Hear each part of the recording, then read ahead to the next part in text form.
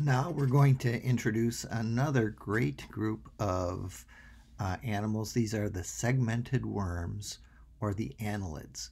These include the common garden worms that we see in our soil, but the vast majority of these are marine worms and they're the segmented worms with, with appendages. And so again, we're going to introduce this group and learn their features and know their phylogeny. So uh, these guys are also protostomes and Lophotrochozoa. Okay, they don't have a lophophore per se, but they do show trochophore larvae. Uh, and so these annelids are closely related to the mollusks, but they're segmented um, and they appear quite different. But they are closely related and often not too far away from them. So this is, again, was originally based on the sequence of the 18S ribosomal RNA gene that led us to this. But after we started looking at this, we see lots of additional similarities. And annelids are also, like mollusks, very complex organisms. They have a complete digestive tract, respiratory structures called gills, a closed circulatory system with a heart, pumping blood with a respiratory pigment that moves through their body, delivering oxygen. They have uh, excretory organs, again, like the mollusks. This is called a metanephridia, and they have some of these in each segment. Uh, and you can see the segments in these guys here. These have a ventral nerve cord and a brain that also is kind of loops around the pharynx, like many, many invertebrates.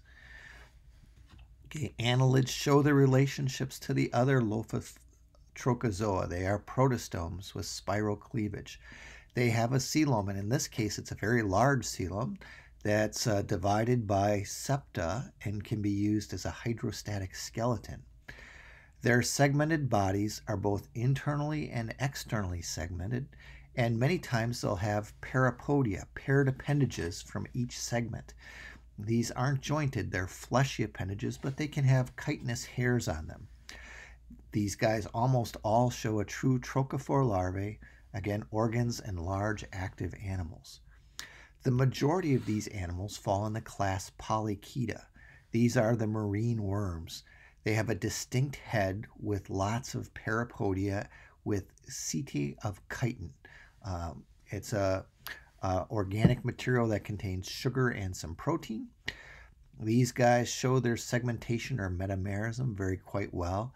They have a distinct head with uh, you know, appendages that may be uh, modified for piercing or feeding. Sometimes these are modified into fluffy appendages for trapping particles. Um, they have well developed gills, are active. They're often referred to as tube worms because many of them have a habit of building a tube and then living within that tube. Okay, they are all marine, uh, so a very, very diverse group of organisms. The annelids that we probably know best fall into the class Oligochaeta, which means having few appendages or few setae. These are terrestrial and freshwater worms that we know. Some are quite small.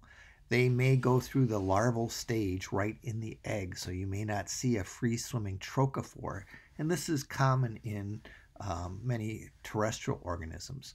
They too have a ventral nerve cord that's doubled with uh, ganglia around the pharynx. The last group of these are the Hirudinea. These are the leeches. They are mostly freshwater organisms that are parasites. And they have reduced segmentation, but a very good muscular system. And they produce anticoagulants and analgesic secretions so that they can numb their host while they're feeding and make sure that the blood flows. Okay, so a very large group of large active organisms, uh, complex, and so even though we consider them just worms, they're far more than than that. Uh, they they're one of their main features is they have this internal and external segmentation, with some segments modified to form a head. Uh, they form these parapodia, paired appendages. Protostome development with trochophore larvae and spiral cleavage uh, well developed gills for respiration so that they can get oxygen from the water. They have muscular hearts for tr- pumping blood to transport that oxygen, and the uh, blood stays within blood vessels, so it's called a closed circulatory system. Uh, complete digestive tract with a large coelom that serves as a hydrostatic skeleton. So there's some some nice photos of those. So the annelids, again, Lophotrochozoa, another good example of those organisms.